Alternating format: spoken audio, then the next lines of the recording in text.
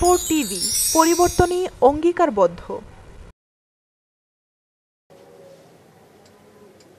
নাটোরে একটি বিদেশি পিস্তল, দুই রাউন্ড গুলি ও একটি ম্যাগজিন সহ খোদাবক্স রহমান ধ্রুব নামে এক কিশোরকে আটক করেছে পুলিশ।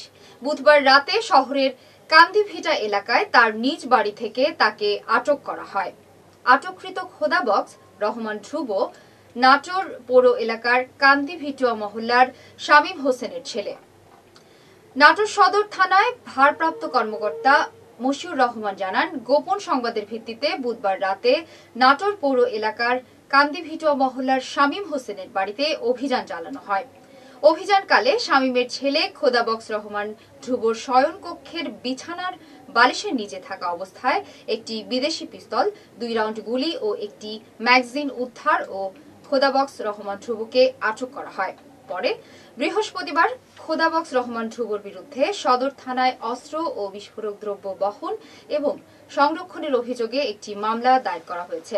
পরে খোদাবক্স রহমান ধ্রুবকে আদালতের মাধ্যমে জেল হাজতে প্রেরণ করা হয়।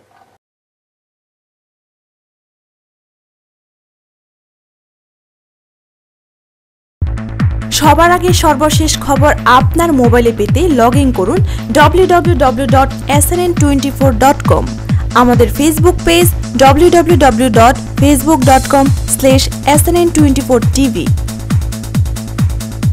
SNN twenty four টিভির সকল অনুষ্ঠান পেতে লগ ইন করুন www.snn24.tv ফেসবুকে অ্যাক্টিভ থাকতে লগ ইন করুন www.facebook.com/tv.snn24 এসএনএন টোয়েন্টি ফোর টিভির সকল অনুষ্ঠান ইউটিউবে পেতে সার্চ করুন SNN twenty four dot TV like, share এবং সাবস্ক্রাইব করে এসএনএন টোয়েন্টি ফোর ডট টিভির সঙ্গে থাকুন।